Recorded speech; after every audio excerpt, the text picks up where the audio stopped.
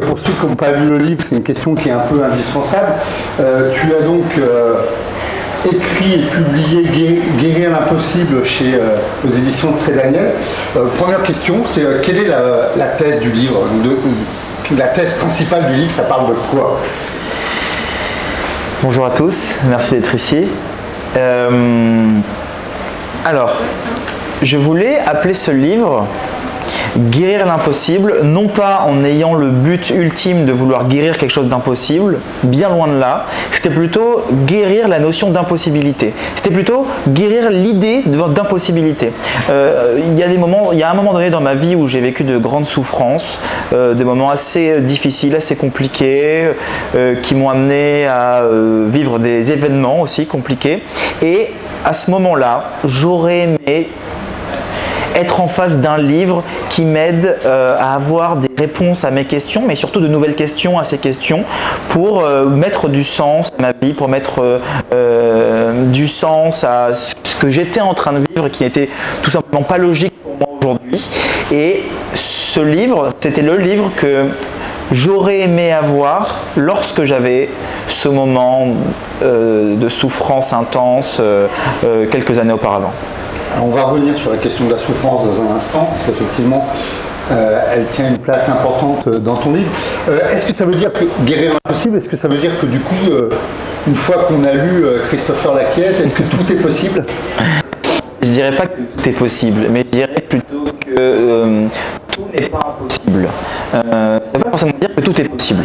Ça veut, tout simplement dire qu'à certains moments, je préfère euh, avoir une certaine idée d'une chose et me cramponner à cette idée-là. C'est-à-dire que euh, ce qui est impossible pour nous ne l'est pas forcément pour un autre, et tout est affaire de subjectivité. Euh, je dirais même que le terme c'est peut-être un adjectif, mal placé.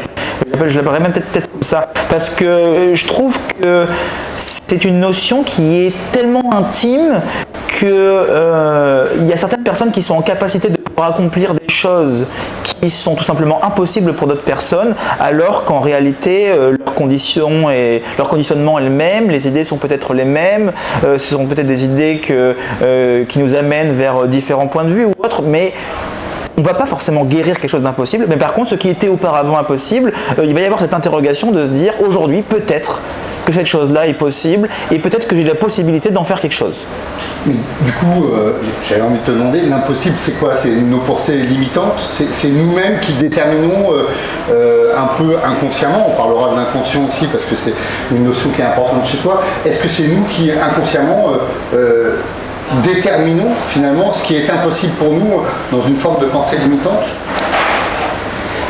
oui, oui, oui, nous déterminons qu'une chose est impossible parce que cette chose-là n'est pas comme elle devrait être. C'est-à-dire que euh, je pense que Spinoza le dit très bien.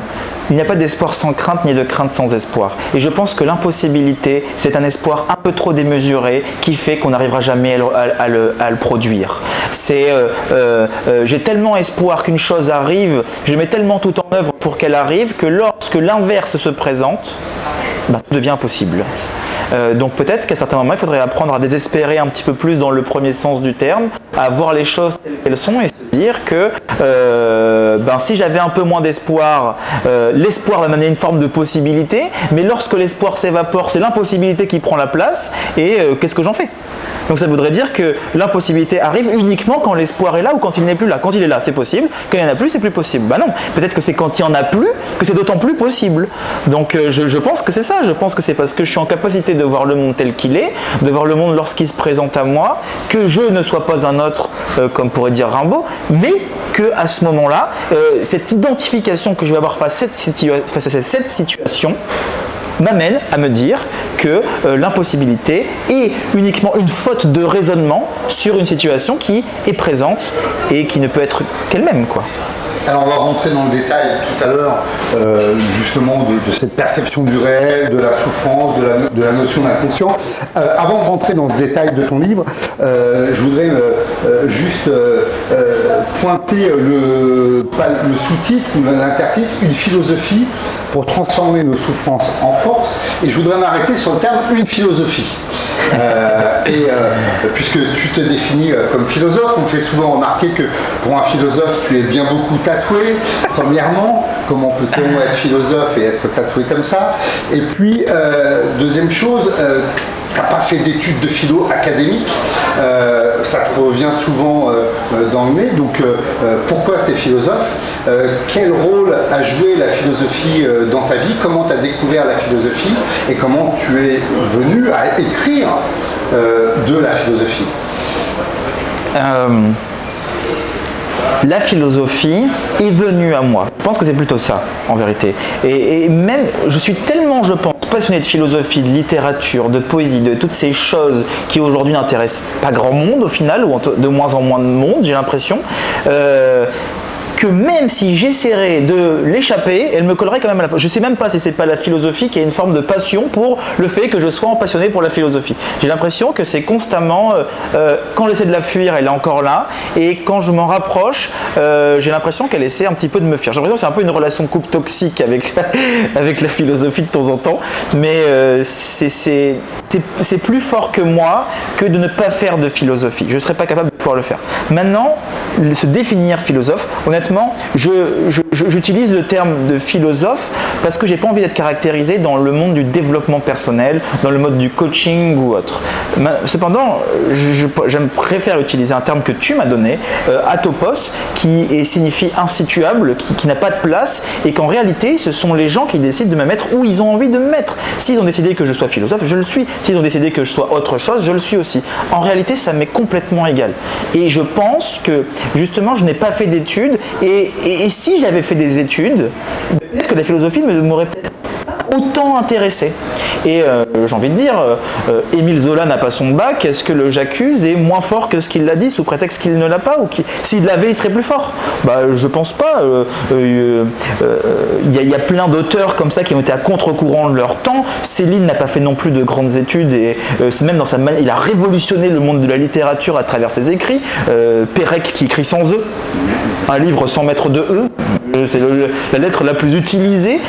donc on voit qu'il y a plein de cancres qui ont la littérature et la philosophie pour en faire quelque chose de concret. Socrate n'a pas étudié Socrate avant de faire du Socrate. Ben non, vu que c'est lui Socrate. Donc euh, je dis pas que je suis Socrate. Je dis juste qu'il euh, y a un moment donné, la philosophie c'est quelque chose qui se vit. Je pense qu'elle émane de nous et que ça ne doit pas être quelque chose qu'on doit chercher sous prétexte que c'est une réservé à une certaine élite. Et moi je le vois comme ça. Je pense que la philosophie c'est une façon de vivre et une façon de raisonner et que quand on rentre dans ce monde de la philosophie, dans ce monde du raisonnement, du questionnement et de l'intérêt, euh, il se passe quelque chose qui fait que euh, on voit plus pas le monde de la même manière, mais on voit les choses d'une manière différente que celle qu'on a toujours perçue. Et je pense que c'est ça. Euh, être philosophe, c'est quoi? C'est rigolo parce que on en, parle souvent. Être philosophe, ici, nous avons un docteur en philosophie, Mathias Leboeuf. Euh, on a tous les deux une définition différente de la philosophie. Il va avoir encore une définition différente que Deleuze, que Pascal, que euh, Montaigne, qu'on peut dire philosophe ou pas, peu importe. Donc euh, la philosophie, on n'est pas capable de la définir exactement. Pour moi, la philosophie, c'est douter des évidences jusqu'à ce que, ce que, ce doute devienne une évidence. C'est réussir à euh, faire en sorte que les choses qu'on a l'habitude de voir tous les jours dans notre vie puissent se reproduire de la même manière constamment comme si c'était la première fois que je les vivais. C'est ça, c'est euh, lorsque je suis en capacité de savoir désirer ce que j'ai déjà, ce que déjà euh, et, de le revivre en plus ça de le désirer c'est je le désire mais je le revis parce que je suis capable de l'oublier en quelque sorte. Ben là le monde devient beaucoup plus beau. On n'est plus dans une société de consommation. Enfin on sera toujours dans une société de consommation mais on en souffre beaucoup moins en tout cas tu le disais, euh, tu as écrit ce livre parce que c'est le livre que tu aurais aimé avoir euh, sous la main pour te sortir hein, d'un moment euh, difficile. Tu as dit aussi que la philosophie était venue à toi, notamment à travers les stoïciens et en particulier Marc Aurèle, je crois. Ta découverte de la philosophie, c'est via Marc Aurèle finalement. Tu tombes sur Penser pour moi-même, et là, c'est une forme de, révélation. De...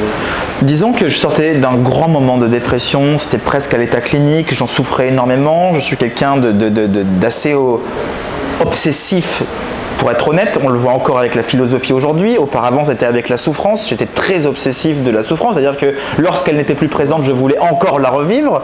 Euh, et lorsqu'elle n'était plus là, ce n'était pas normal parce que tout allait bien, donc il fallait que je retourne dans de la souffrance parce que tout allait bien. Et c'était constamment ce va-et-vient, euh, cette souffrance qui m'accompagnait et qui me disait je te lâcherai jamais vraiment la grappe.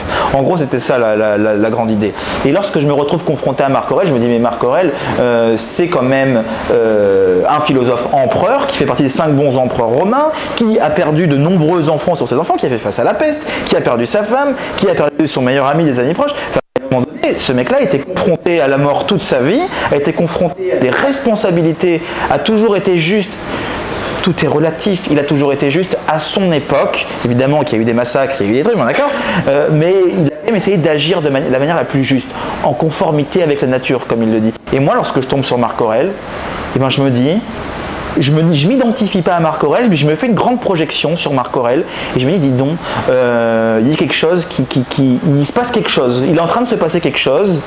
Et plus je creuse, plus il se passe des choses, et plus je tombe amoureux de la pensée, et euh, ce qui m'amène sur une autre pensée, sur d'autres idées. Et je pense que c'est une grande histoire d'amour. Tu m'as donné la transition puisque tu, viens de parler de la souffrance et de dire que tu étais très obsessif ou obsessionnel sur la souffrance. Il se trouve que ton livre, c'est une philosophie pour transformer nos souffrances en force. Alors justement, la souffrance, euh, on a l'impression à te lire que euh, la souffrance est comme un, un affect premier chez toi, en tout cas dans ce livre-là, c'est un affect fondateur et que tout commence avec la souffrance. Est-ce que c'est le cas euh, Ou est-ce que c'était le cas Est-ce que c'est encore le cas aujourd'hui Est-ce que ça a changé euh, Alors pour être honnête, tout ne commence pas par la souffrance. Heureusement d'ailleurs. Sinon, si tout ne, partait que par la souffrance. Je, pense que la souffrance. La souffrance tient quand même un, rôle extrêmement important euh, dans, le livre et, et, comme point de départ du livre. Oui, oui, totalement, totalement, totalement. Je voulais parler de la souffrance parce que c'est un thème qui est pour moi extrêmement important. Non seulement il est très important, mais en plus de ça, il y a des distinctions à faire. La douleur, est bien différente que la souffrance. La douleur va être passagère, on va la sentir souvent physiquement parlant, un peu moins psychiquement, quand même elle peut toujours être présente psychiquement de temps en temps, mais elle va être passagère. La souffrance, c'est un compagnon de route. C'est-à-dire qu'elle est là, elle se présente de temps en temps, et ce qu'on fait, c'est qu'on fait en sorte de l'oublier dès qu'elle arrive. Dès qu'elle arrive, on fait en sorte de vite vouloir la mettre de côté. Euh, quand je suis heureux, je ne me pose pas la question de comment est-ce que je peux souffrir. Alors, quand je souffre, je vais la question de comment pouvoir être heureux. Ça marche que dans un sens. La souffrance, peut-être qu'elle est là pour nous amener à quelque chose. ça fait partie de la condition humaine. On a tous des moments dans notre vie où euh, on vit d'intenses souffrances, des choses qui nous font euh, profondément mal, des choses qui nous amènent à nous poser des questions qu'on n'a pas envie de se poser, ou alors subir certains événements dans notre vie. Je pense à la mort, je pense au deuil, je pense euh, à des situations peut-être, certaines femmes qui ont été violées, des trucs qui sont horribles, humaines, mais qui sont présentes. Donc maintenant, comment je fais face à un taux de souffrance comme celui-là euh, euh, euh, Nietzsche, dans le crépuscule des idoles, il nous dit que la souffrance, ce n'est pas le moyen de blâmer la vie, mais c'en est une condition. Ça fait partie de la condition humaine. Et en Nietzsche, on sait. Souffrir, c'est un prérequis de, l'existence Souffrir, ça fait partie de l'existence. C'est-à-dire que je pense qu'une vie pleine de joie, pleine de bonheur constamment, non seulement on ne saurait pas qu'on est plein de bonheur, du coup on n'aurait pas connu la souffrance. Donc on ne pourrait pas faire la distinction entre ce qui me fait du bien et ce qui me fait du mal, vu que je n'aurais connu qu'une seule chose dans ma vie. Donc et je pense que ce serait une vie très tragique d'être constamment heureux. C'est-à-dire que si je passe ma vie à être entièrement heureux tout le temps, d'ailleurs c'est un peu, un peu comme les, les optimistes. Bon moi les optimistes qui sont trop optimistes ont tendance à me rendre pessimiste. C'est-à-dire que quand on arrive et qu'on me dit tout va bien, c'est bien, moi je pense à ma mère quand je dis ça, je pense à ma mère. Si elle, si elle, m'entendait, là je me prendrais une gifle. Maman, si tu Je pense à ma mère. Ma mère est tout le temps quelqu'un d'extrêmement optimiste. Et à chaque fois qu'il y a quelque chose qui va pas, quand je vais pas bien, voilà, je vais pas bien. Et elle me dit non, ça va, ça va. Non, non, je vais pas bien, je vais pas bien. Si, si, si, si, ça va, ça va, ça va. Si, tout va bien, tout va bien, tout va bien. Bon, je vais pas bien. C'est-à-dire qu'à un moment donné, je suis pas bien. Et. Euh, et, c'est pas grave. Et c'est pas grave. Plus tu vas me dire que tout va bien, plus je vais me sentir pas bien. Mais la souffrance dont tu parles, dont il est question dans le livre, c'est une souffrance euh, métaphysique, c'est une souffrance existentielle, c'est une souffrance euh, traumatique, puisqu'il y a un autre terme qui est, utilisé dans ton livre, c'est le trauma, dont il, est, dont il est question aussi. Est-ce que tu peux nous en dire un mot Est-ce qu'il est y a un trauma originel de la naissance? C'est quoi cette souffrance? Cette souffrance, c'est euh, ce, ce, qui te colle au basque et que quand tu changes de chaussure, elle est encore là. C'est ça en fait la souffrance. C'est emmerdant la souffrance. C'est pas quelque chose qu'on a envie de vivre. On est bien d'accord pour dire que la souffrance, c'est quelque chose. Et Nietzsche n'avait pas le choix de la vivre et il a écrit des œuvres incroyables. Il en est devenu fou, d'accord, c'est peut-être pas le meilleur exemple.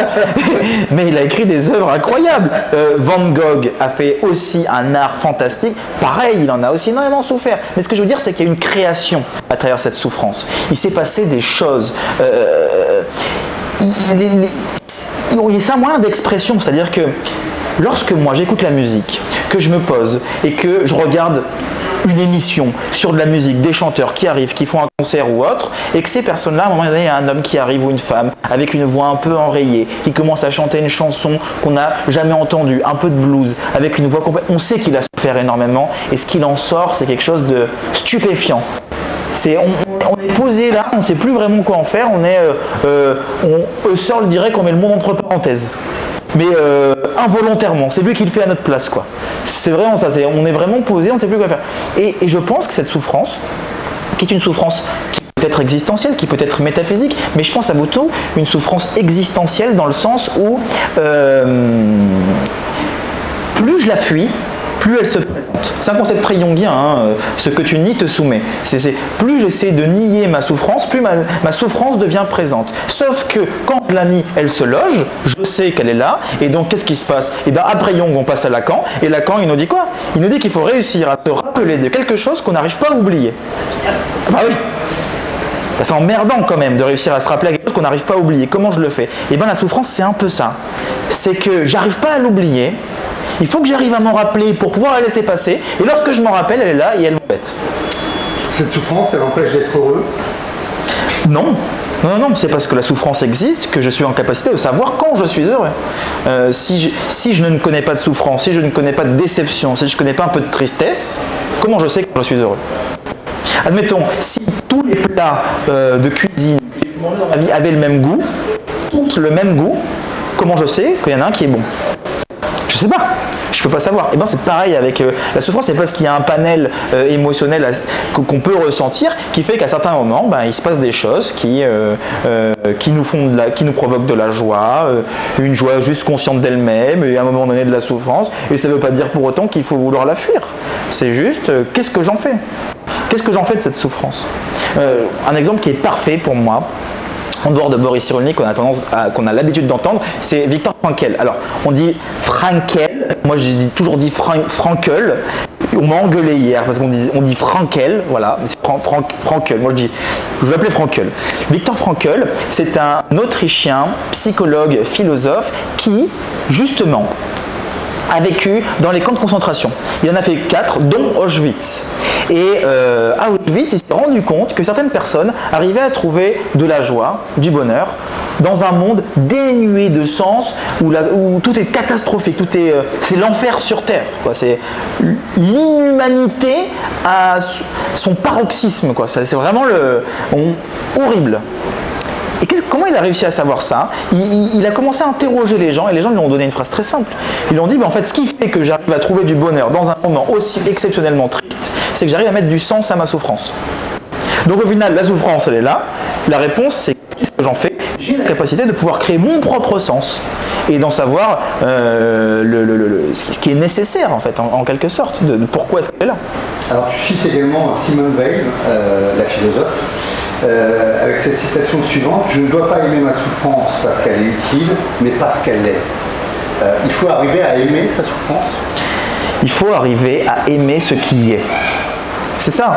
Avant Simone Veil, Nietzsche le dit très bien dans La mort fatigue. La mort fatigue. Bien sûr, dans La mort fatigue qui est lui-même. C'est, en fait, c'est réussir à non pas uniquement accepter que les événements de ma, de ma vie arrivent comme ils arrivent, mais c'est désirer qu'ils arrivent comme ils arrivent désirer que les événements de ma vie, aussi tragiques soient-ils, se présentent comme ils se présentent.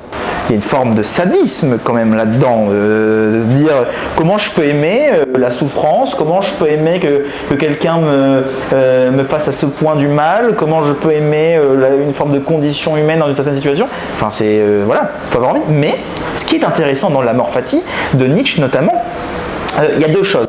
La morphatie, ça provient des stoïciens. Les stoïciens, ils disent quoi? C'est Épictète qui le dit. J'en parlais avec Granarolo la dernière fois. Il disait, oui, euh, Nietzsche a dit qu'il fallait aimer les, événements comme ils arrivent. Euh, mais qu'est-ce qu'il nous dit, Épictète? Il nous dit, désirer que les événements arrivent comme ils arrivent. Il y a ce désir, ce et désir. Non pas comme tu veux. Et non pas comme tu veux qu'ils arrivent. Euh, et c'est ça qui est intéressant. C'est je désire. Et le mot est, présent, il est là, c'est pas pour rien. On sait à l'époque que le mot désir a déjà son importance. Donc je désire que les événements de ma vie arrivent comme ils arrivent. Donc comment je peux faire ça? Comment je peux faire ça? Être en capacité d'arriver à cet état-là. et Nietzsche nous dit qu'il faut réussir à détourner le regard. En fait, c'est détourner le regard de ce qui arrive pour mieux le percevoir. C'est euh, le voir tel qu'il est plutôt que tel qu'il se présente à nous. Alors, il n'est pas question que de souffrance dans ton livre, c'est pas, pas un livre souffreteux non plus. Euh, il est beaucoup question d'émotion également. Euh, et euh, tu as cette thèse, enfin je, crois que tu as cette thèse que nous sommes trop souvent en fait dans le déni émotionnel et que d'ailleurs ce déni émotionnel peut provoquer ou engendrer de la, souffrance. Qu'est-ce que c'est que ce déni émotionnel et quel, rapport on a avec nos émotions? En fait, euh, on a un rapport en confrontation avec nos émotions. C'est drôle de se dire qu'on est confronté à nous-mêmes alors que ce nous-mêmes est quelque chose qu'on ne peut pas du tout contrôler. Nos émotions, c'est pas quelque chose qu'on peut contrôler. On peut contrôler l'intensité de l'émotion, mais lorsqu'elle arrive, elle arrive et je ne peux pas faire autrement que, que ce que je suis en train de vivre. Et et, ce qui est vraiment intéressant là-dedans, c'est que euh, se... j'ai l'impression qu'on se clone et qu'on sort de nous-mêmes lorsque quelque chose de difficile arrive. Et on se confronte à, cette chose-là, comme si la souffrance était le chevalier noir qu'on devrait affronter. Voilà, c'est ça. Alors qu'en réalité, euh, c'est nous-mêmes qui l'avons exprimé, cette souffrance-là. Et Mais toutes les émotions ne sont pas douloureuses. Non, euh, évidemment. Non, non, non, bien sûr, bien sûr. Mais la joie, on ne va pas se poser la question. On la vit, on est heureux de la vivre. D'ailleurs, euh, on est heureux quand on la vit, la joie. C'est, c'est, Rosé le, dit très bien, c'est une joie qui est là malgré tout ce qui se passe. C'est une joie malgré un monde dénué de sens, indésirable ou peu importe. Et, je suis en joie. Je peux me poser la question de comment ne pas l'être vu que je le suis. Par contre, c'est lorsque je vis l'inverse que je me pose la question de, euh, de, pouvoir en fait euh, retrouver cette joie-là qui est perdue. En fait, c'est lorsque quelque chose de désagréable se présente, c'est comme si on avait perdu quelque chose. C'est comme si on avait, on était passé à côté d'un truc. Alors qu'en réalité, euh, je trouve que c'est une erreur de faire ça, parce que ça a quelque chose à nous apporter. Il n'y a, peut-être pas une importance énorme à mettre à la souffrance, personne n'a envie de vivre une vie pleine de souffrance.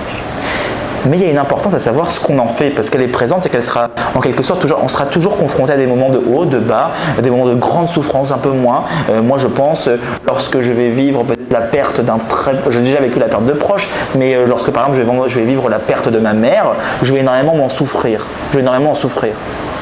Mais euh, je peux déjà préméditer ça. Montaigne philosopher, c'est apprendre à mourir. On peut nous-mêmes apprendre à mourir, mais aussi apprendre à mourir pour l'autre, pour savoir l'accepter. Donc il y a plein de possibilités différentes faut pas nier ce qui se présente. En fait, nier ce qui se présente, c'est lui reprocher d'être ce qu'il est, et au final, qu'il devrait être autre chose.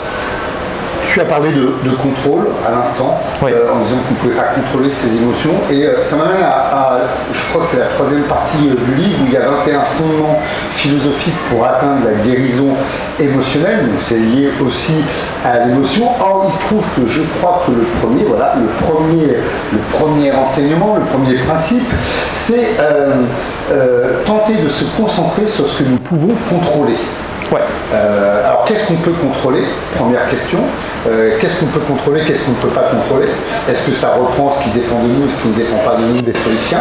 Euh, Ça c'est la première question. Et puis je te poserai une autre question après sur. mais réponds déjà à ça sur le contrôle. bah oui, c'est la première des stoïciens. Épictète le dit très bien. Il y a ce qui dépend de nous, ce qui ne dépend pas de nous. Et je pense que ça, ça nous aide énormément. Moi, en tout cas, moi quotidiennement, c'est quelque chose qui m'aide extrêmement bien de savoir ce qui dépend de moi et ce qui ne dépend pas de C'est que lorsque je suis confronté à une situation qui m'amène tout type de sentiments qui sont forcément désagréables ou même agréables, parce que c'est aussi intéressant de le faire dans différents types de situations, euh, qu'est-ce qui dépend de moi, qu'est-ce qui dépend pas de moi? Ce qui dépend de moi, c'est mes pensées, euh, mes réactions, euh, mes perceptions, ma façon de réagir face à ce qui ne dépend pas de moi. Sauf que c'est pas si simple. c'est pas si simple. Parce que nous, on est conditionné à toujours vouloir contrôler des choses qui ne dépendent pas de nous. On passe notre vie à vouloir contrôler des choses qui ne dépendent pas de nous. Et donc, qu'est-ce qui se passe lorsqu'on veut contrôler des choses qui ne dépendent pas de nous? quand tu as vu mes questions, tu as voulu les contrôler tout de suite euh... euh c'est vrai, c'est vrai, c'est vrai, c'est vrai, c'est vrai. Euh, non, mais par exemple, je vais contrôler ce que pense l'autre. Ça, c'est que l'autre. Lorsque je suis confronté à l'autre, la personne que j'aime, et que la personne que j'aime pense autre chose que mes propres idées, que tout l'amour que je porte pour elle, euh, il n'est peut-être pas partagé à certains moments, et que j'ai l'impression que tout ce que je lui donne, il ne me donne ou elle ne me donne jamais assez. Qu'est-ce que je vais faire? Je vais faire en sorte de provoquer l'étincelle chez elle pour qu'elle ressente la même chose que moi je suis en train de ressentir. Et je suis en train de contrôler quoi? Je suis en train de contrôler uniquement quelque chose qui ne dépend pas de moi pour la simple et bonne raison que l'autre n'est pas moi et que ça me rebelle en quelque sorte. Je fais des gens, nous sommes confrontés constamment à faire des projections de nos attentes du monde ou de nous-mêmes sur les choses. Vu que le, par exemple, alors le sujet que j'adore, c'est l'empathie. Alors ça, ça j'adore. Ça, l'empathie, c'est incroyable. Dans les questions, hein, dans les... un, passage sur. oui, j'en ai un, passage sur. L'empathie, voilà, l'empathie. Ça, c'est quelque chose qui est incroyable, l'empathie. Récemment, j'ai euh, un ami à moi qui vient me voir, qui se plaint tout le temps, on sait qui c'est, qui se plaint tout le temps. Il vient me voir, il me dit voilà, euh, truc, euh, il m'arrive encore telle chose, tel truc. Bon, d'accord, ok, très bien, très bien, très bien, très bien. Et lui, ce qui lui arrive, c'est que quelqu'un vient se plaindre à lui d'une grande souffrance d'une grande souffrance. La personne n'est vraiment pas bien, il a vécu un événement très difficile, euh, je ne sais pas si c'était un deuil ou quelque chose comme ça, et là il y a l'empathie qui rentre en jeu. Alors qu'est-ce qu'on fait? Ok, on est confronté à quelqu'un qui vit une grande souffrance. On va faire projection. Moi, qu'est-ce que je ferais si j'étais à sa place? Très bien, très bien, très bien. Qu'est-ce que je ferais si j'étais à sa place? Deuxième chose, euh, lorsque moi j'ai vécu une situation similaire, comment est-ce que j'ai réagi? Je sais, j'ai réagi de telle manière. Euh, très bien. Je vais lui dire que la solution, c'est de réagir comme moi j'ai réagi dans la situation qui ressemblait à la tienne est-ce que c'est pas tout sauf de l'empathie? C'est-à-dire que je prends l'autre, je le mets à ma place et je lui dis comment il devrait agir par rapport à ce que moi j'ai vécu. Alors qu'en réalité, l'autre, quand il arrive et que je me présente à lui et que je suis censé ressentir de l'empathie, ben, euh, je dois être l'autre. Je ne dois pas être moi dans l'autre. Je dois être l'autre. Mais alors comment être l'autre, sachant que je suis moi? C'est toute la difficulté. C'est pour ça qu'on ne pourra jamais vraiment se mettre à la place d'une personne à 100%. On peut essayer. On peut essayer. Et pour cela, il faut réussir à vraiment comprendre la personne et à poser les bonnes questions, à aller vraiment analyser et se dire non, non, ne pense pas à ce que moi je pourrais faire dans cette situation-là parce que lui n'est pas moi et peut-être que s'il fait ça, ça va empirer. Et constamment, on est confronté à des gens, et moi ça m'est arrivé, mais je te demande pas mon avis, je te demande pas ton avis. Me dis pas euh, comment je vais, je te demande pas ton avis, toi, toi, toi. D'ailleurs, je te demande souvent ton avis à toi. Quel est, justement le lien avec le contrôle, entre l'empathie et le contrôle? Est-ce qu'on contrôle ça? Euh, L'empathie, est-ce qu'on contrôle? Eh, Oui, est-ce que, est que on, parlait du contrôle et, euh, euh, sur, le fait de se focaliser sur ce qu'on contrôle, mais justement, ce que tu, que viens de dire, c'est qu'en en fait, on ne contrôle pas finalement l'autre et que et, le rapport qu'on a avec l'autre et l'empathie qu'on contrôle. Non, non, on contrôle vraiment rien en réalité. Hein. On contrôle ce qui se passe à l'intérieur, on peut contrôler l'intensité émotionnelle, on peut contrôler nos idées, on peut contrôler nos perceptions, on peut contrôler nos pensées. Je ne sais pas vraiment à quoi ça sert si on passe notre vie à contrôler ça. Ça peut être aussi euh, euh, devenir un peu paranoïaque. Euh, on peut être Dans Dostoevsky qui se voit en double parce qu'il essaie de se contrôler, contrôler le monde entier. donc non, c'est pas l'idée. C'est pas l'idée non plus, mais c'est ne pas trop être dépendant de ce qu'on ressent. C'est plutôt ça. Je ne veux pas être l'esclave de mes émotions sous prétexte qu'elles sont différentes de ce qu'elles devraient être. Alors le contrôle, pour le coup, c'est vraiment euh, un, thème assez philosophique. Les, les philosophes, les philosophes, ils veulent saisir euh, le réel. Donc il y, a, un peu cette volonté quand même de le contrôler. Euh, et ça va un peu à l'encontre d'une autre doxa, qui est la doxa du lâcher prise, qu'on rencontre souvent, notamment un peu dans les milieux, soit du développement personnel ou de la spiritualité. Il y a ces espèces de mantras, il faut lâcher prise, il faut lâcher prise. Ça m'amène à poser une question. Sur ton rapport, quel rapport tu entretiens justement euh, en tant que philosophe euh, avec d'une part la sphère du développement personnel, parce que ça touche quand même un certain nombre de thèmes abordés par le développement personnel, et puis d'autre part la, sphère du, spirituel, du spiritualisme, que tu as fréquenté un peu beaucoup aussi, puisqu'à un moment donné tu parles de, tes expériences, notamment avec un chaman, euh, dont il est question euh, dans, le livre. Tu racontes une expérience que tu as vécue euh, avec un chaman. Quel est, le, rapport que tu entretiens avec, d'une part, le développement personnel et d'autre part, le, spirituel ou les spiritualités hmm. Développement personnel, ça peut. Alors, déjà, développement personnel je crois que j'ai même pas besoin de définir ce que signifie développement personnel, se développer personnellement. À partir de là, si je me développe, si je prends le mot à sa racine, la philosophie peut être en quelque sorte une forme de développement personnel. Je me développe personnellement, sauf que ça va bien plus loin que ça. Le, le problème que j'ai avec le développement personnel, je commence dans l'autre sens ce qui est bon dans le développement personnel, c'est qu'il nous permet de pouvoir trouver un comment à certaines situations qui nous font extrêmement souffrir, des situations qui, sont difficiles à vivre. On n'a pas les réponses, on essaie d'en avoir. Le développement personnel peut nous permettre de pouvoir nous mettre en mouvement et de trouver des semblants de réponses. Cependant, quand il devient trop dogmatique, ce développement personnel, quand il est trop dans l'imposition, je pense à quelque chose que je trouve tout le temps. Oh là là, ça c'est vraiment un truc, c'est euh, la pensée positive.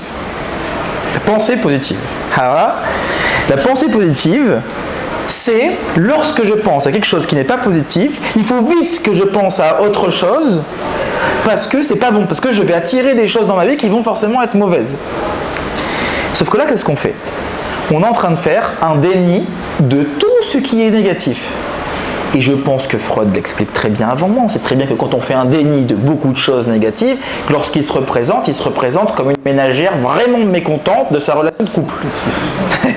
voilà un peu l'idée euh, qui arrive et qui euh, un peu ça me fait penser à Rambo, un peu Stallone qui arrive et qui n'a rien d'autre qu'une mitraillette dans les pattes quoi. Le retour du refoulé. Voilà le retour, le retour du refoulé.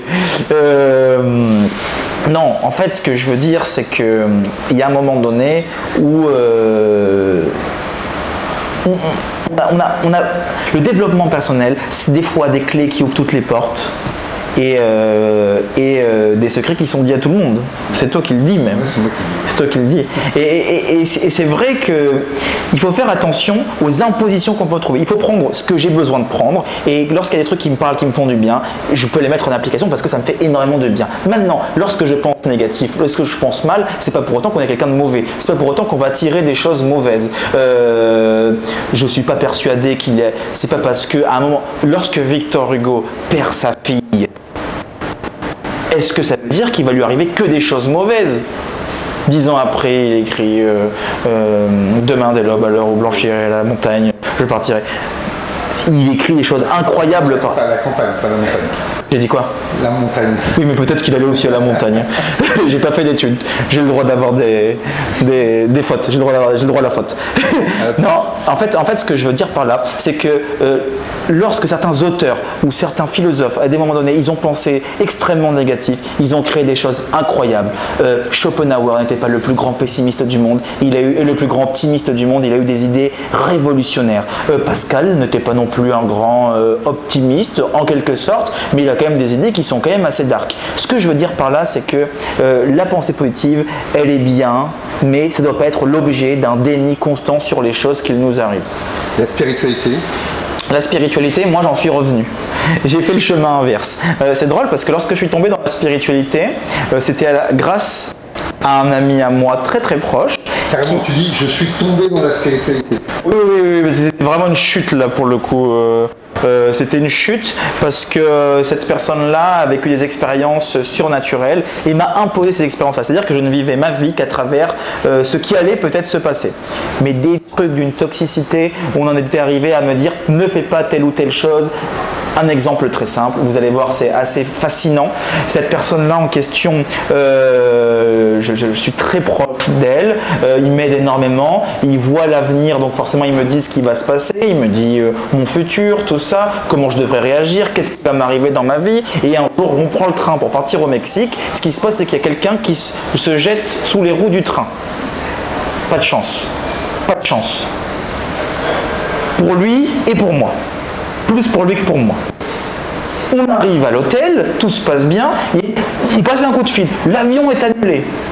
Le suicide, l'avion est annulé, les retards de train, tout. Ok, qu'est-ce qui est en train de se passer?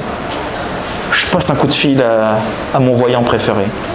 Tu sais, il me dit, c'est peut-être à, cause de toi, c'est peut-être à cause d'une personne, c'est peut-être à cause de la personne avec qui t'es, c'est peut-être à cause de toi que, cette personne s'est suicidée. C'est toi qui as tiré ça C'est moi qui ai tiré ça.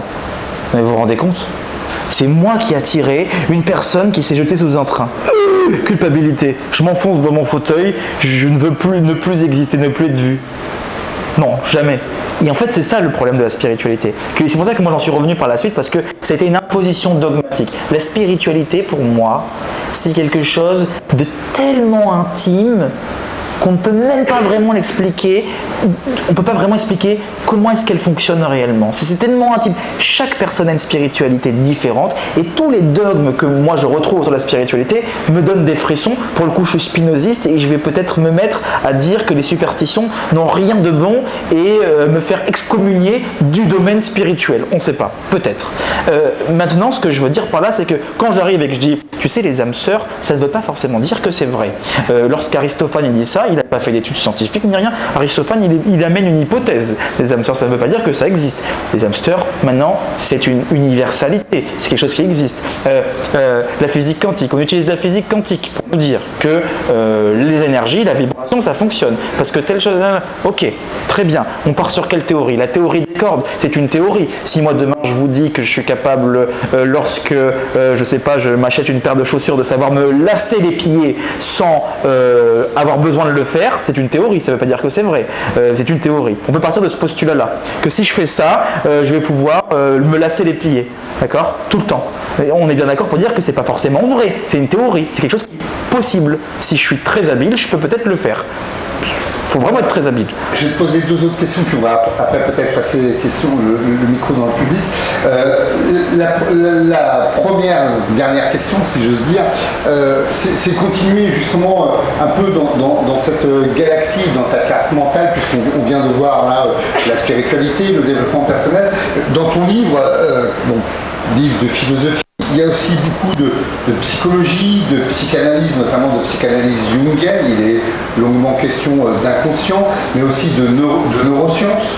Euh, comment fonctionnent ces références? Comment, comment tu utilises tout ça? Comment, euh, ça prend forme et, comment tu t'empares de tout ça? Les neurosciences, c'est toujours. Alors, moi, il faut savoir que je suis quelqu'un, comme je l'ai dit juste avant, de très obsessif quand j'ai quelque chose qui m'intéresse, j'ai tendance à aller voir tout autour de cette chose-là. C'est ma névrose à moi. Voilà, c'est ma névrose. Euh, c'est ça.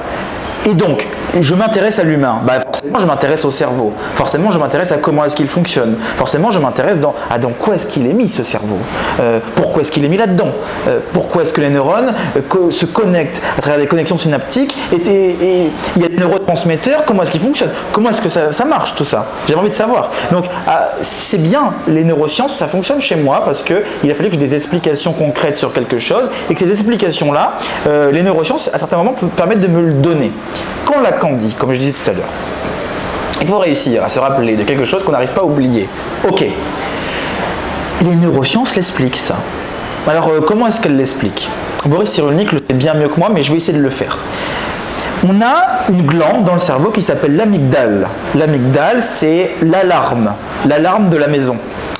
Et cette alarme, elle est connectée à l'hippocampe qui nous permet de pouvoir euh, se mémorer. C'est la mémoire, l'hippocampe. Ça permet de pouvoir enregistrer les informations. Lorsqu'on vit un événement traumatique dans notre vie extrêmement compliqué, une dose intense de souffrance, une dose intense de choc émotionnel, un énorme choc, l'information est catalysée dans l'amygdale, n'est pas traitée par l'hippocampe. Ce qui voudrait dire qu'on ne se rappelle pas ou que partiellement de ce qu'on a vécu et que lorsque je vis une situation qui est similaire, eh ben, euh, cette glande s'active et fait que justement, on va vivre extrêmement intensément la situation alors que cette situation euh, n'était absolument rien. C'est ce qu'on appelle le stress post-traumatique. On le voit très bien, le stress post-traumatique. Certaines personnes euh, vont avoir tout d'un coup une palpitation, tout d'un coup euh, une grande crise de panique, alors qu'il ne s'est absolument rien passé. Pourquoi? Parce que une information précise a été envoyée qui leur a rappelé quelque chose qu'ils ne se rappellent pas, mais qu'ils ne peuvent oublier. Et donc, la psychanalyse rentre en jeu pour pouvoir justement ici. Alors, je parle de psychanalyse, mais ça peut être. Un mot sur l'inconscient, qui, dont il est longuement question dans le livre et qui joue un rôle important euh, euh, chez toi. Oui, oui, oui, totalement. l'inconscient jungien.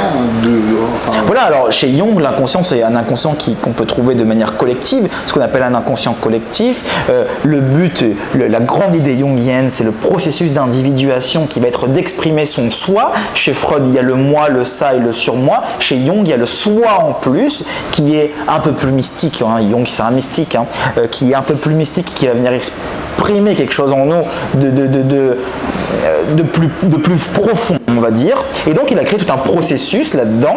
Et euh, il y a aussi ces idées, avec évidemment toutes les idées de Jung avec les archétypes, mais l'inconscient chez Jung, il est et personnel et collectif.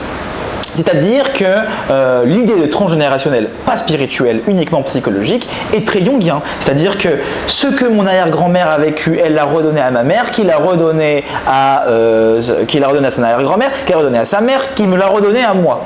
D'accord? Pourquoi? Parce qu'il y a un inconscient qui se fait, qu'on a un comportement qui se reproduit et qu'à partir du moment où on ne prend pas conscience de ça, on ne peut pas briser la chaîne. C'est comme une chaîne de cause à effet qui est éternelle et que lorsqu'on ne prend pas conscience de ce qui détermine ce qui fait mon comportement aujourd'hui, eh ben, euh, ça va se répéter. Moi, je le vois avec mon père. Mon père, il n'a pas du tout pris conscience de quoi que ce soit de son enfance, il reproduit la même chose que son père alors qu'il ne le supportait pas. Je dis, mais c'est quand même incroyable. Je lui dis pas. Là, je lui dis, mais il regardera jamais. Donc, c'est pas grave. mais en gros, ce que je veux dire, c'est que. Euh, euh à certains moments, on a un comportement, on essaie de faire. Ça me fait penser un peu à Deep on fait tout pour vouloir ne pas agir d'une telle manière, et c'est l'acte même de vouloir ne pas agir de cette manière-là qui nous fait agir de cette manière-là. Ce qui nous ramène à Clément Rosset. Ce qui nous ramène à Clément Rosset. Voilà. On parlera peut-être tout à l'heure sur les questions. Euh, justement, avant de passer euh, aux questions euh, du, public, je voulais revenir sur les 21 fondements philosophiques en posant une question qui est, une question un peu naïve, peut-être façon naïve. Qu'est-ce que tu souhaiterais, toi, apporter euh, à travers ton livre. C'est-à-dire, euh, en quoi ton livre peut aider? Quel est le, euh, Qu'est-ce que tu penses qu'il peut apporter? Moi, je pense que ce livre, ce livre peut apporter une forme de résilience, évidemment, face à une forme de compréhension, pas de résilience, de compréhension de pourquoi j'en suis arrivé là aujourd'hui. Et je pense en réalité que lorsqu'on a un pourquoi, on a tendance à le substituer par le comment. On a un pourquoi qui est là, on ne sait pas y répondre, on ne peut pas y répondre, alors on essaie de trouver comment. Pourquoi je suis malheureux? Comment je peux être heureux? On, oublie le pourquoi. Moi, ce que je veux ici, c'est essayer d'aller creuser plus profondément dans le pourquoi. Essayer d'aller comprendre le pourquoi du pourquoi. Essayer de savoir qu'est-ce qui détermine ce comportement-là, sans savoir évidemment la cause exacte, parce qu'on ne pourra jamais le savoir, vu qu'il y a une infinité de causes. Euh, c'est très spinoziste, mais il y a une infinité de causes, mais le nécessaire ce qui, ce qui suffit, pas plus. Et ce qui me permet de justement pouvoir mettre du sens à ça. Alors, pas forcément mettre du sens à l'existence, c'est pas forcément ce que je veux, parce que euh, des fois, justement, du fait qu'il n'y ait pas de sens à l'existence, ça me permet de pouvoir en rajouter encore plus. Donc, euh, c'est pas d'offrir quelque chose de gratuit comme ça, euh, universel, qui va servir à tout le monde. Non, c'est de réussir à réfléchir par soi-même, contre soi-même, et de pouvoir justement aller creuser au fur et à mesure et aller. C'est un boîte à outils en fait. C'est je vais bien, je vais mal, je rejette un petit coup d'œil dedans, ah oui c'est bon, et je reviens dessus, et je fais, des allers-retours comme ça. J'avais envie que ce soit un, compagnon de route quoi ce bouquin. justement, compagnon de route, on va prendre euh, des questions de compagnons d'écoute, euh, s'il y en a parmi vous. Est-ce que vous souhaitez euh, poser des, questions à Christopher? Je ne sais pas si on fait tourner, je crois qu'il n'y a pas un... Ah non, je crois Ah oui, super, il y a un micro, euh, un micro. Alors, une question là. Euh, du coup, bah, merci euh, déjà pour euh, cette conférence. moi, je te suis depuis un certain moment et j'aime beaucoup ce que tu fais. vraiment, c'est une chance de pouvoir te voir en en. Et après, moi, question, donc, ce que je m'étais noté, en fait, tout simplement pour, apprendre à mieux te connaître, parce que je trouve ça vraiment génial ce que, tu fais, de, démarquer vraiment dans, dans ce, univers de la philosophie. Mais je me pose vraiment des questions pour savoir comment on est arrivé là. C'est-à-dire euh, peut-être quels ont été les, métiers que tu as fait avant, pour être un peu plus euh, euh, ton parcours, parce que c'est. En, fait, j'ai l'impression que tu arrives un peu comme une météorite dans, domaine de, la philosophie. Bah, c'est savoir un peu comment tu as réussi à, en venir à écrire ton livre avant du coup ce que tu pouvais faire, ce qui fait te consacrer vraiment à la philosophie à 100%. Voilà, juste un peu pour savoir un peu ton parcours. Euh, c'est une super bonne question, merci beaucoup. Euh, pour être honnête, euh, il faudrait peut-être une petite heure pour tout vous raconter, on n'a peut-être pas le temps. Non, je vais faire très simple, c'est une très bonne question. j'ai eu un parcours qui est complètement atypique. Complètement atypique, c'est-à-dire que j'ai arrêté l'école entre 15 et 16 ans, j'ai quitté le domaine à 16 ans parce que mon père voulait que je devienne avocat et Dieu sait que j'aime pas forcément le droit, c'est pas un truc qui m'anime, qui m'a jamais animé. L'école n'a jamais été quelque chose qui m'animait parce que je ne comprenais pas pourquoi on pouvait m'expliquer quelque chose que eux-mêmes ne comprenaient pas, pour certains, pas pour tout le monde évidemment. Euh, il y avait des, je, ne raisonnais pas de cette manière-là. J'étais pas fait, j'étais très speed. J'étais quelqu'un de très speed et du coup, euh, je, je, toujours un peu. Hein. Oui, je suis peut-être un peu toujours. euh, du coup, je n'arrivais pas à rester assis sur une chaise pendant 8 heures à écouter euh, quelque chose qui m'ennuyait profondément. Et je quitte l'école, j'ai la chance de devenir professeur de danse. Donc rien à voir. Je suis professeur de danse, je donne des cours de danse, je dirige des compagnies de danse, ça se passe super bien, euh, voilà. Euh, je passe les détails, je gagne pas assez d'argent, donc du coup je fais des petits boulots en plus. J'ai fait plein de petits boulots. J'ai travaillé dans des bars, j'ai travaillé dans des restaurants, j'ai fait de la maçonnerie, euh, j'ai fait plein de choses. Bref, j'enchaîne les petits boulots comme ça. par la suite, je peux ouvrir mon salon de tatouage. Je décide des tatoueurs. Ah oui, parce qu'entre temps, je décide des tatoueurs. Bon, bref, j'ai plein d'idées, plein de choses qui m'animent et j'ai envie d'en faire quelque chose. J'ai envie de, voilà. En fait, moi, j'étais quelqu'un qui a toujours suivi son cœur, entre guillemets, et qui, lorsqu'il a eu besoin ou envie de faire quelque chose, il l'a fait directement. C'est-à-dire que j'ai toujours eu, euh, euh, je, le fais, je me pousse, je le fais.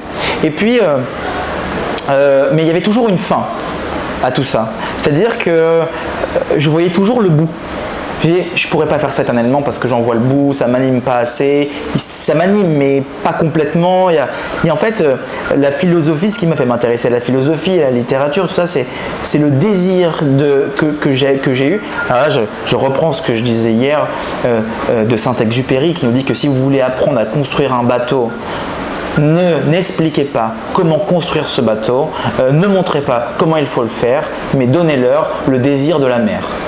Et moi, c'était ça. C'était mon bateau de la philosophie, c'était avoir le désir de la mer, le désir de, des profondeurs abyssales. Et ben, ça a été ça. Ce qui fait que vu que, comme je disais, je suis un peu névrosé, obsessif, et ben, euh, je vais chercher tout le temps en profondeur. Je mange philo, je dors philo, je vis philo. Je crois que je, je dois l'emmerder tous les quatre matins, lui envoyer des messages. Il y a ci, il y a ça, t'as pas vu ça, t'as vu le truc, et t'as pas entendu. Il me dit, oh, tu m'emmerdes un petit peu, et je continue à lui envoyer des messages. Euh, voilà, c'est un, un, peu ça, je pense. C'est un peu ça qui a fait que. Et en fait, quand on désire et qu'on est passionné par ce qu'on fait, bah, il n'y a pas vraiment de limite à ça. Euh, et, après, j'arrive. Quand j'ai lancé la philosophie sur les réseaux sociaux, quand j'ai lancé la littérature, euh, j'avais pas forcément pour objectif de rassembler euh, une communauté de personnes qui à être intéressées, échanger avec les gens, créer, créer un lien. J'avais pas forcément cet objectif-là derrière la tête parce que moi, j'étais passionné de ça. Mais ça l'a fait. Et j'ai envie de dire, je ne peux pas expliquer pourquoi, je ne peux pas expliquer comment. Ça l'a fait. Il n'y a, pas une méthode Il n'y a pas de méthode. Et je pense que le désir de la mer, c'est la meilleure méthode. Je pense honnêtement. Si tu désires euh, profondément une chose, mais profondément que même si tu fais tout pour ne pas la faire, elle revient toujours à toi, c'est que c'est le bon chemin. C'est que c'est le bon chemin. Ça te colle à la peau, quoi. C'est vraiment ça. Ça te colle à la peau, ouais. Merci beaucoup. Voilà. Une autre question? Derrière, oui.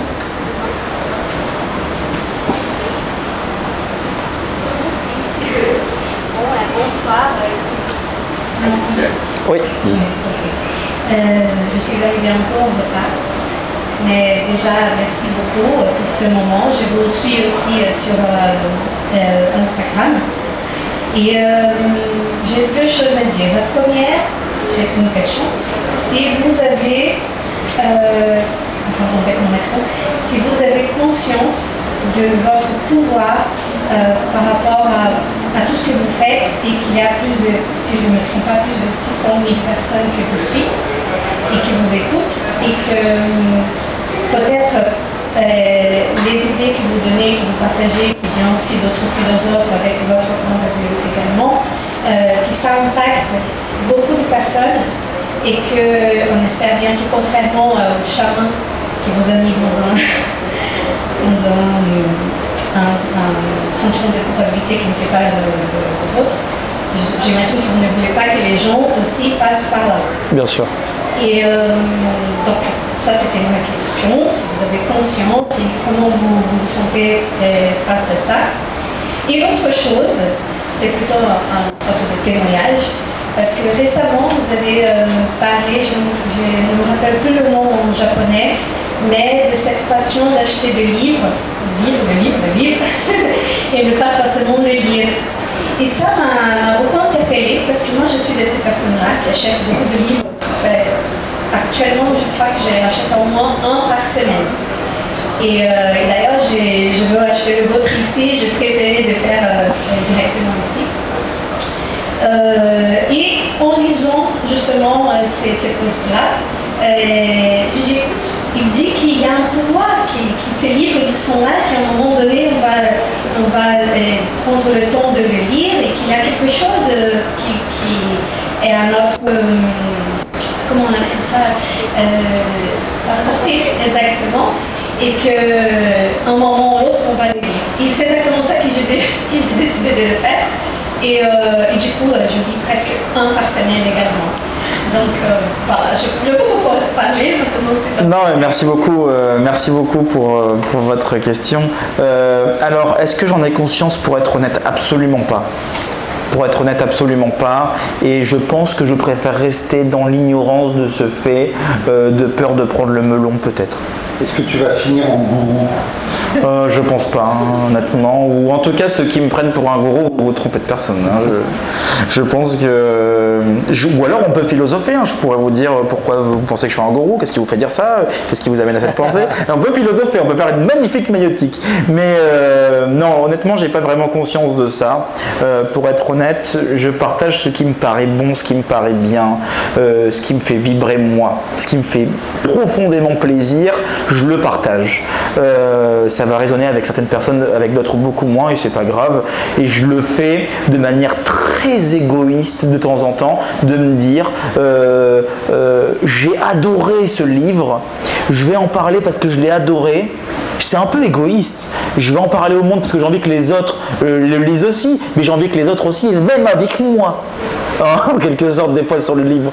Donc euh, euh, pour être honnête, ça dépend. Je pense que je préfère euh, je pense que je préfère ne pas forcément tout le temps en avoir conscience, mais lorsqu'on se retrouve tous ensemble, qu'on partage des moments, qu'on discute, que j'ai des messages, tout ça, euh, pour moi c'est j'adore, c'est passionnant parce qu'on partage il y a quelque chose qui s'anime, quoi. C'est ça que j'aime beaucoup, c'est le partage, plus que je, de mon pouvoir. Mon pouvoir il y en a qui préfèrent me lire, il y en a qui préfèrent m'écouter, il y en a qui préfèrent ne pas me voir.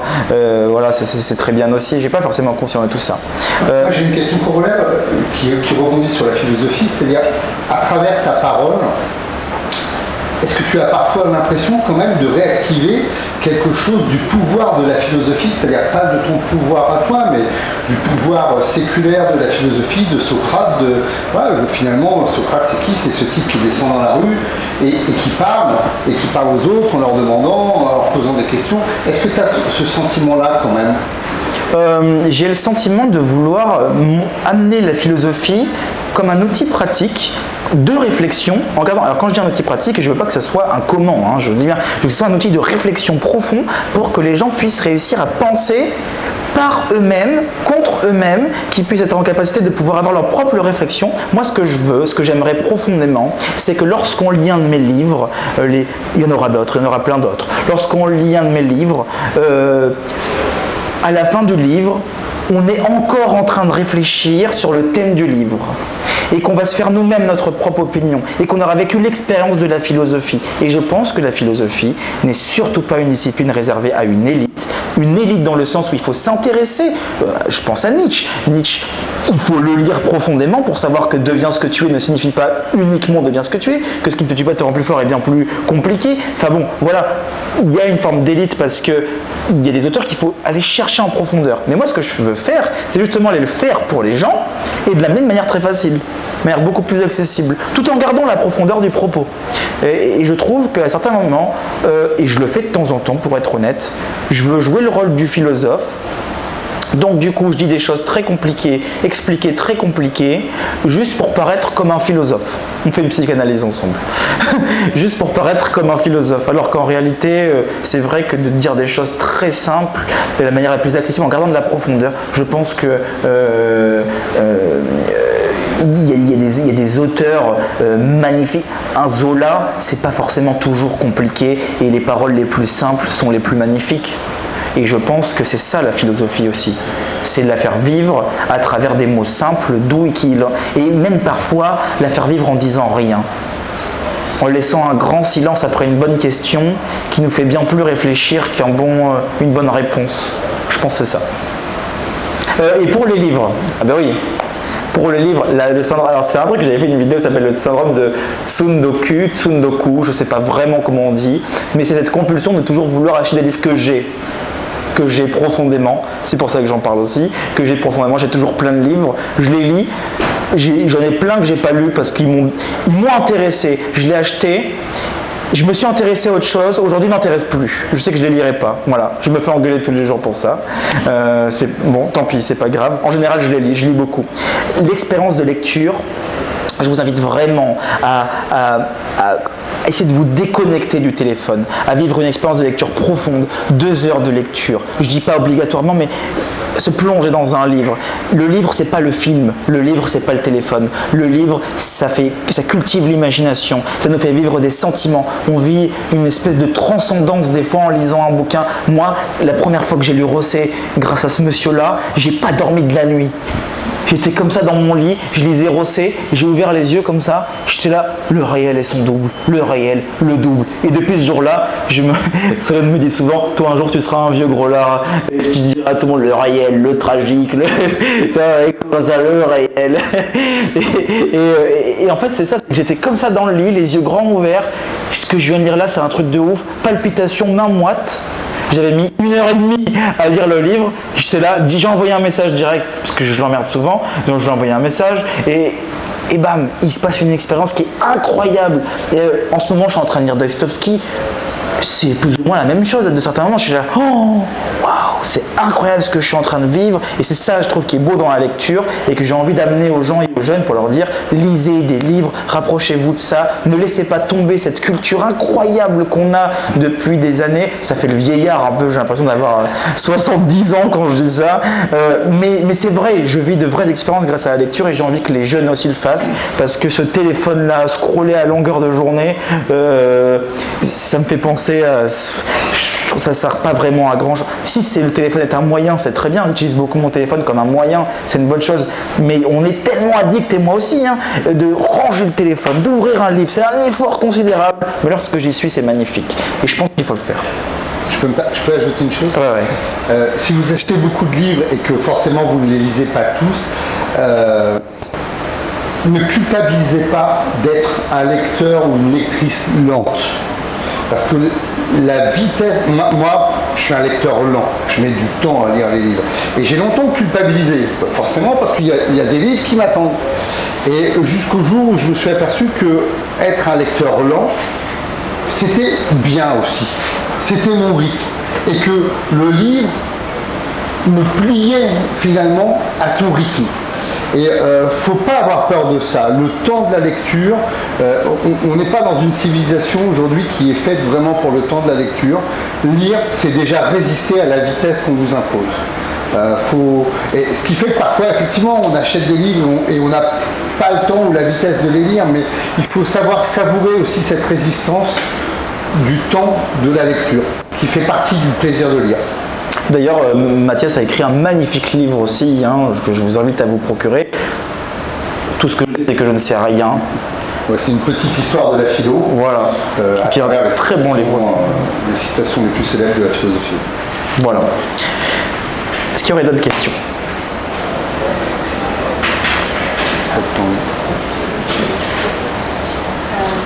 Bonjour. Bonjour.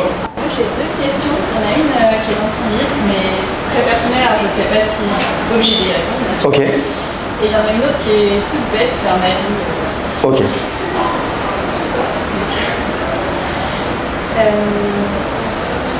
dans ton, au début de ton livre, euh, il y a un moment tu dis Je savais que je masquais quelque chose que je ne voulais pas voir, sous prétexte que cela ferait ressurgir des démons enfouis depuis longtemps, car ma perception de cette émotion était devenue une obsession. Je sais pas si tu te rappelles de ça. Je sais même pas que j'avais écrit ça, moi. et, euh, et, du coup, je voulais te demander, parce que cette phrase, elle est hyper pertinente et profonde, et dès le début du livre, et je voulais savoir à quoi tu avais pensé quand tu avais rédigé ces mots, en fait. Est-ce que tu peux me redire la phrase? C'est page combien? C'est page 29. C'est à la fin, c'est le dernier paragraphe. C'est à partir de je savais, je savais. que je quelque chose. Si vous savez, des fois j'ai écrit des trucs, je ne me rappelle pas.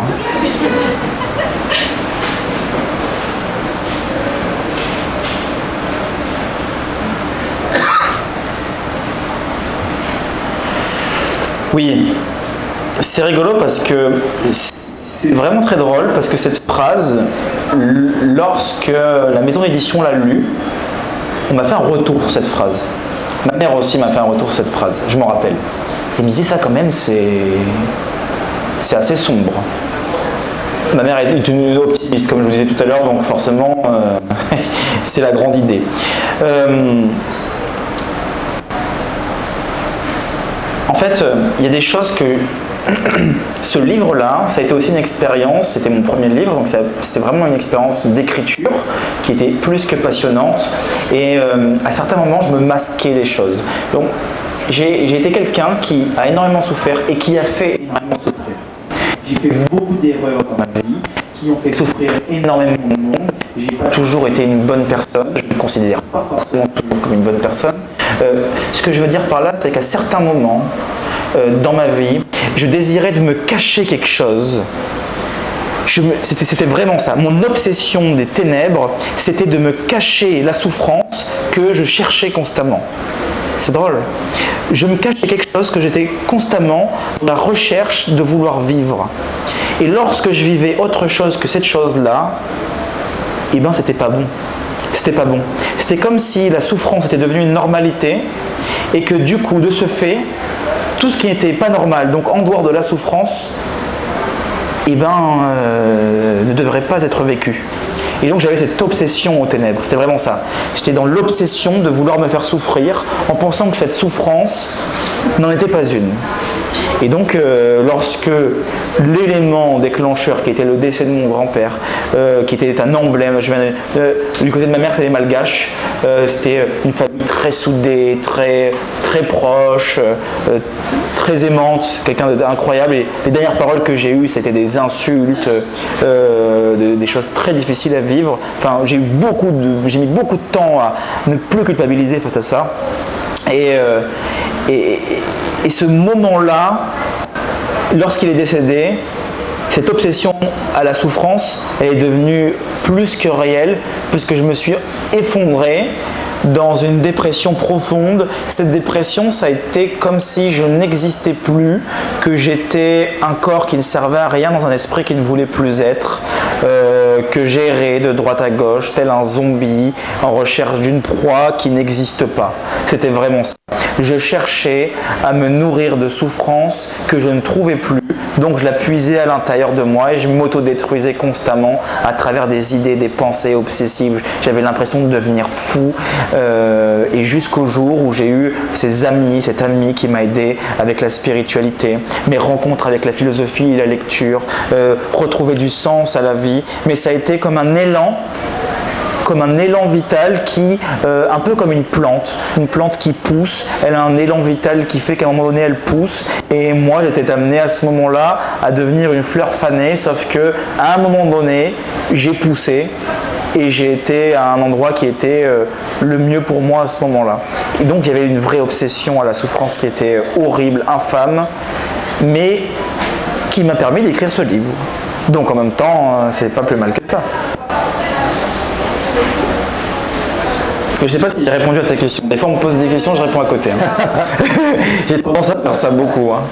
Vous m'entendez? Oui. Euh, bah, merci beaucoup pour ce partage. Euh, après, c'était c'était plutôt dans l'idée du moment présent. Mais après, si ça faisait écho en effet à l'ensemble pourquoi et du pourquoi j'ai écrit ce livre, euh. Ah oui, oui, oui. Bah, pour moi, le moment présent, pour être honnête, ça sert pas vraiment à grand chose parce que on peut jamais l'attraper.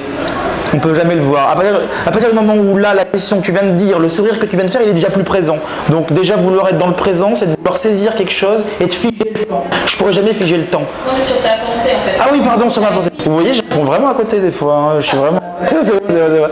Non, non, non, c'est sûr que là, oui, oui, il y a des moments où, oui, oui, oui, non, mais complètement, le moment présent, euh, oui, oui, oui, oui. oui. Je sais, je sais pas ce que je dois dire. Je dois répondre à une question. Non, bah non, c'était juste la deuxième question. Ah oui, pardon, excuse-moi. Oui, oui. Ça vous deux et c'est beaucoup plus léger.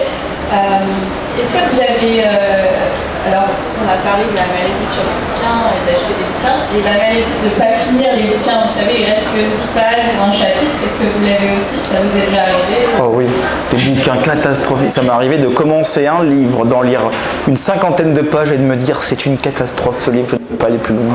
Je ne peux pas aller plus loin, c'est plus fort que moi. Je suis très critique, je me rends compte. je suis très critique. Ouais, ouais, je suis très critique. Ça te, ça te le fait toi des fois Oui, oui, moi, euh, je, crois qu'on apprend à lire en fait euh, tous les jours et on apprend à lire en fonction de sa vitesse et de son désir. Euh, ça veut dire que la vitesse, on, l'a évoqué, il y, a des gens qui sont des lecteurs rapides, d'autres qui sont des lecteurs lents. C'est pas forcément du coup un handicap, même si c'est dur à assumer. Et puis après, son désir, il faut savoir trouver ses auteurs. C'est comme des galaxies ou des constellations. Et puis quand, quand on tombe sur une galaxie ou une constellation et qu'on tire un euh, il y a parfois des choses extrêmement étranges. Alors il y a des auteurs qui rentrent pas dans, nos galaxies euh, euh, ou dans nos affinités électives, comme dirait, comme dirait Goethe. Je crois que quand on commence à lire un livre et que ce livre ne vous plaît pas, ne vous apporte pas, ne vous nourrit pas, faut pas, faut, pas continuer, faut peut-être mettre de côté. Et puis, euh, et puis attends, moi j'ai une anecdote euh, euh, personnelle là-dessus. Je, je suis nourri par Gilles Deleuze. Gilles Deleuze est un philosophe qui me parle énormément, qui, qui- qui me, qui démultiplie les choses, qui, qui m'aide, qui est vraiment un outil pratique et un peu mystique aussi. Bon. Et il y a un bouquin de Deleuze dans lequel je n'arrive pas à pénétrer. Je, c'est le bouquin sur Leibniz, le pli, je ne rentre pas dedans. Et régulièrement j'y vais, et je me dis, putain, je, je, je comprends rien, je, n'y arrive pas, je, et pourtant je connais Deleuze, je connais... Je ne rentre pas dans ce livre-là, je, n'y ai pas accès. Et je le remets dans la bibliothèque et je me dis peut-être un jour, voilà, il est là, bon, je, je rentre pas. Mais de la même façon, euh, quand on lit les philosophes, euh, je crois qu'il faut aussi savoir ne pas tout comprendre. C'est-à-dire que c'est vrai que le premier mouvement de la philosophie, c'est la compréhension, c'est la saisie, c'est la prise, euh, au, sens euh, saisir quelque chose. Et en même temps, il y a parfois des plages obscures chez certains philosophes qui sont des plages de déprise qu'il faut savoir accepter aussi. Euh, quand on lit Spinoza, quand on lit Deleuze, quand on lit Nietzsche, quand on lit Christopher Laquiez, euh, parfois on se dit qu'est-ce qu'il raconte? Mais c'est pas grave, ça travaille quand même. Il y a, peut-être d'autres régimes de compréhension. Euh, on est sur une plage obscure et puis tout d'un coup, bim, on tombe sur un, passage, une phrase qui est claire ou parce que ça a travaillé derrière sourdement. Voilà. Donc la lecture, il faut qu'elle soit vraiment multiple. Après, alors, ce que vous avez évoqué, qui est un peu plus peut-être entre guillemets pervers, c'est effectivement lire un livre, l'aimer et ne pas vouloir le finir. Les dix dernières pages, ont, effectivement, ça peut arriver. C'est un espèce de symptôme déjà un peu plus, un peu plus étonnant. Euh, ne pas vouloir finir le livre. Laisser les dix pages, c'est assez joli d'ailleurs, je trouve. Laisser en suspens, ne pas vouloir euh, le fermer. Euh, c'est pareil, il faut être, faut être clément avec ça. Moi ça, moi, ça me le fait avec le sandwich rien à voir, hein. ça, me le fait. Moi, je, mange un sandwich, je finis jamais, je laisse toujours un tout petit morceau. Non, mais c'est vrai, ça me, ça me fait ça. Peut-être ça peut faire le, même effet avec un livre, euh, comme si tu voulais pas vraiment le finir et laisser un petit truc à la fin. C'est vrai que c'est un peu, c'est un peu euh, se faire du mal, quoi. Ah, ouais.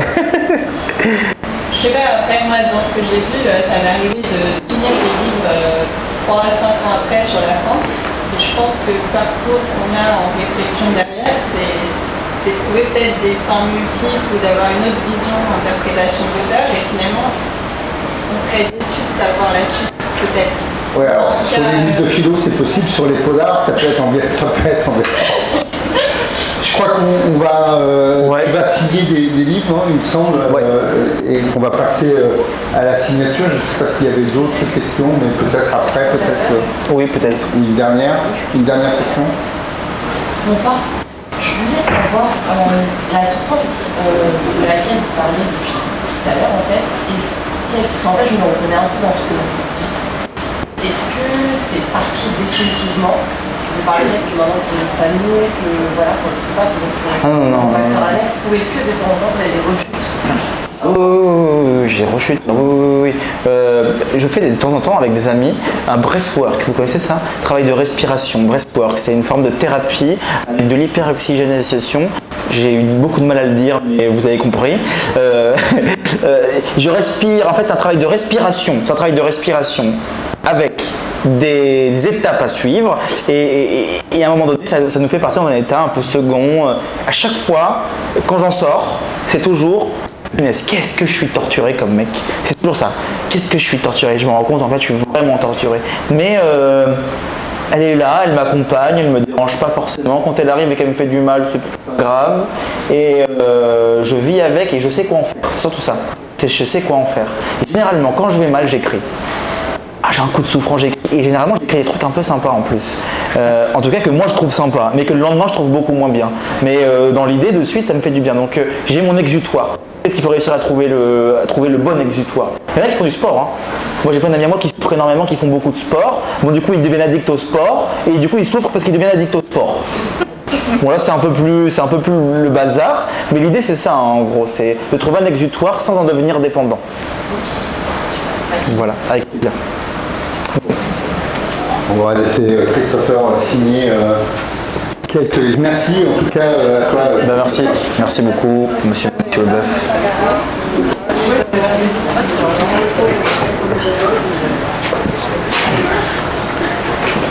J'y vais. Ouais, ça roule. dimanche, en tout cas, c'était super. Ouais, c'était cool. Ouais, merci beaucoup. Ouais, et, puis, et puis, bah ouais, normalement, je serai là dimanche. Je vais voir, en tout cas, il y aura Hélène et Guillaume de toute façon.